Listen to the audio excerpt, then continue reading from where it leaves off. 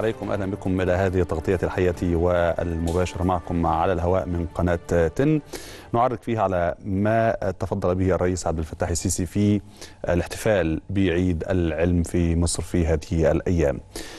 كرم الرئيس السيسي الكثير من علماء مصر وطلابها الناجحين وفي تخصصات كثيرة. وتحدث في كلمة موجزة إلى الشعب المصري. وجه التحية لكل الحاضرين ولعلماء مصر وطلابها الناجحين والمتفوقين. ووجه مجموعة من الرسائل تحدث عن علم المصريات وعن مكانة العلم في مصر قديما. وقال إن مصر الحديثة تستحق العمل من أجل أن تكون أفضل مما كانت عليه في فترات سابقة. كان فيها العلم يأخذ مكانته في الفراعنة.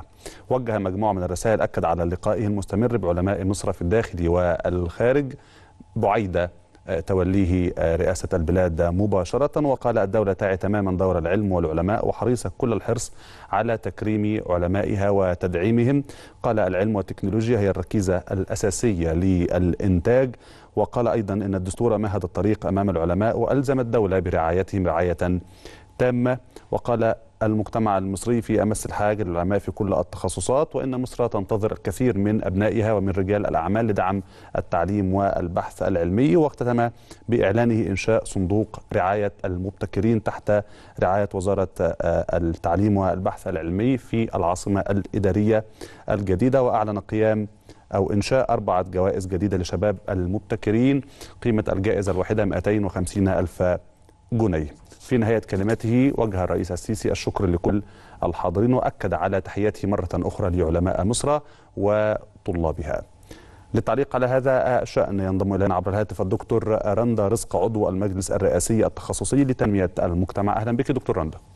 أهلا بحضرتك أهلا بك. كل عام أنت بخير. كيف رأيت احتفال مصر بعلمائها اليوم؟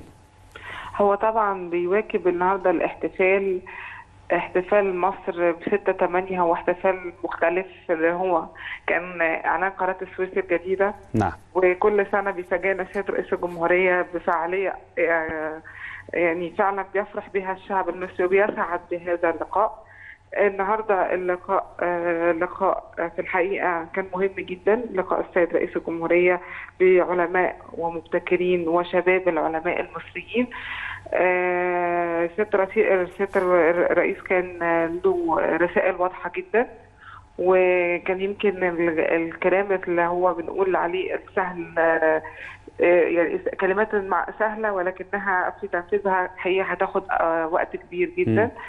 سيادة الرئيس لما بدأ رسائله القصيرة قال شباب العلماء وقال شباب المبدعين والمبتكرين الاهتمام بعلمائنا بالخارج والداخل الربط بين المبتكرين والمبدعين العالميين المصريين وربطهم بأرض الوطن مرة أخرى إعادة إحياء عيد العلم مشروعات قومية واعتبر بنك المعرفة مشروعات قومية نعم. واللي أنا كنت لسه بشوفه أو بتابع بيه كباحثة علمية إن هو أصبح مشروع عربي قومي عالمي إن شاء الله. وأعتقد إنه في يعني بياخد في المؤشرات الدولية بدأ يبقى له رانك وده اهتمام وخاصة على المستوى العربي إن بدأ يجي طلبات لبعض الدول إنها تبقى عضو في بنك المعرفة القومي المصري. نعم. جامعة زويل طبعا ده مشروع قومي ومشروع المدارس المصرية اليابانية. اهتمام سيادة الرئيس بإن بس الابتكار العلمي يخرج بقى من نطاق إن هو بحث علمي إلى من النظريه للتطبيق. إلى تطبيق أو مشروع قومي وخاصة فيما يحتاجه المجتمع المصري الاحساس بالاكتفاء أو زي ما بنقول عليه التنمية المستدامة أو الإحساس بالاكتفاء الذاتي زي الدواء والغذاء كان أكثر محورين أساسيين في يعني تأكيد سيادته في كلماته اليوم. إن هو كمان أشار إلى نقطة مهمة جدا البحث العلمي لابد أن يكون في دور كبير جدا في الربط بينهم لذلك أنا برى اهتمامه بربط سوق العمل بالاحتياج دوت هينتج لي التي أراد ايفادها لهؤلاء العلماء برأيك دكتور رندا هو طبعا سيادة الرئيس يمكن أشار كمان في رسائله القصيرة إن هو اهتم بعلماء المصريين بالخارج وبالداخل وزي ما قلنا أنا كان في أكثر من مؤتمر لدعوة علماء مصر بالخارج من خلال وزيرة الهجرة مصر تستطيع وكان مؤتمر ناجح جدا أقيم بالغردقة في 2000 و... في عام 2000 نهاية عام 2016 وكان من أنجح اللقاءات لأن طبعا خرج منه بعض من الأبحاث العلمية أو الدراسات القيمة لربط الطيور المهاجرة من العلماء بوطنهم الأم. وأعتقد الكثير منهم الآن هم بعض منهم مستشارين للسيد رئيس الجمهورية ويمكن مجلس العلماء أيضا الذي اطلقه السيد رئيس الجمهورية برئاسة سيادته شخصيا هو أحد اهم وجود الطيور المهاجرة في هذه المجلس. حدثينا عن هذا المجلس وعن أدواره المنوط به القيام بها في الفترة المقبلة خاصة في عيد العلم اليوم وتأكيد الرئيس على تضافر الجهود الحكومية وأيضا جهود المجتمع المدني ورجال الأعمال. المجلس الاستشاري التنمية المجتمعية طبعا هو مجلس قايم على ابتكار الحلول الذكية المجتمعية وأعتقد إن هيكون له دور مهم جدا في وضع الرؤى الخاصة الخاصة بمبادرة السيد رئيس الجمهورية لإنشاء صندوق التطوير اليوم ودور. دايما المجلس الاستشاري التنمية المجتمعية هو وضع الحلول الذكية والسريعة لدعم المجتمع في كافة المهام الخاصة به من سواء من الخطاب الديني أو الإعاقة أو أو بعد تغيير قوانين خاصه بالمجتمع المدني أو الخاص بنشر الثقافة والمعرفة وتغيير مفاهيم من خلال استخدام الدراما التلفزيونية والعديد من المهام على المستوى المجتمعي أو على المستوى نعم. التنموي.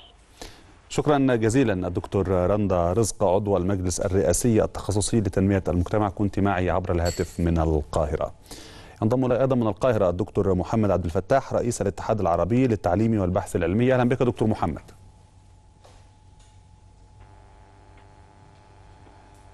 دكتور محمد عبد الفتاح هل تستمع لي بوضوح؟ أنا سامع حضرتك أهلا بك. معك أهلا بك كل عام وأنت بخير في عيد العلم والعلماء. وانت بالصحه والسلامه يا فندم ونشكركم على الاهتمام بعيد العلم والعلماء يعني شكرا لكم ان هي صوبت الاتجاه على تكريم العلماء في عيد العلم. شكرا لك دكتور كيف نظرت لاحتفال اليوم والذي حضره الرئيس السيسي؟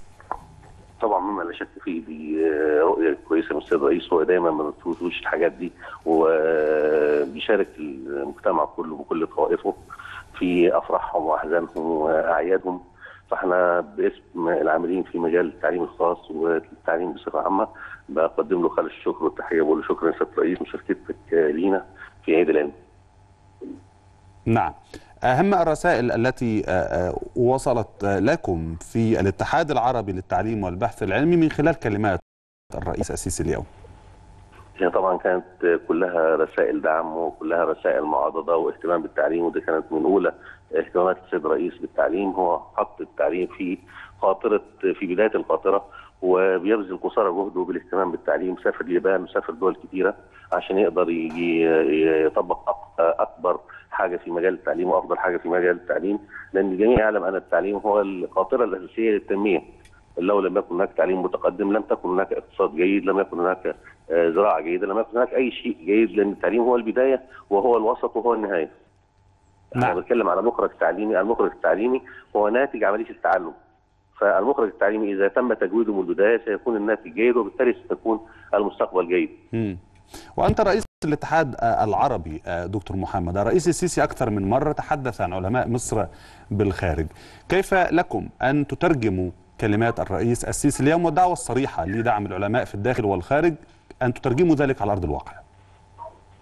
طبعا العلماء المصريين أو اللي إحنا بنسموهم المغردون في الخارج لهم باع طويل في مجال التعليم.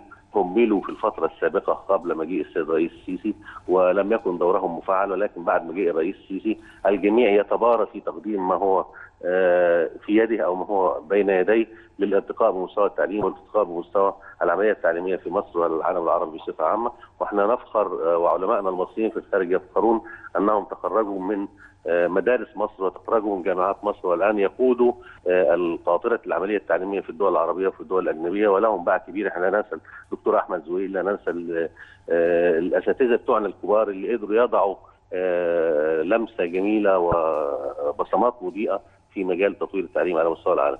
زيادة الجوائز التي تمنحها الدولة للمتفوقين والعلماء وأيضا زيادة قيمة الجوائز وإنشاء أربعة جوائز جديدة كما أعلن الرئيس السيسي اليوم برأيك كيف يدفع ذلك شباب مصر للمضي قدما نحو التعليم والارتقاء في المستوى التعليمي هو اهتمام السيد الرئيس في حد ذاته ده في حد ذاته ده أكبر جائزه للاهتمام بالتعليم وده أكبر تشجيع لأن الجميع يعمل ويعمل بطريقة دؤوبة ويعمل عمل دؤوب للارتقاء بمستوى التعليم والارتقاء بمستوى مصر بصفة عامة.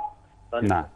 شكرا جزيلا دكتور محمد عبد الفتاح رئيس الاتحاد العربي للتعليم والبحث العلمي كنت معي عبر الهاتف من القاهرة إذا مستمرون معكم في هذه التغطية المباشرة على الهواء ولكن نذكر بأهم الرسائل التي قالها الرئيس السيسي في كلمته نتابع كان كانت هذه كلمة الرئيس عبد الفتاح السيسي في الاحتفال بعيد العلم والتي نقلناها لكم على الهواء مباشرة في تغطيتنا هذه في قناة تن. إذا تقبلوا تحيات فريق عمل هذه التغطية وهذه تحياتي محمد الرميحي. أنقلها إليكم من القاهرة. السلام من الله عليكم ورحمة وبركاته.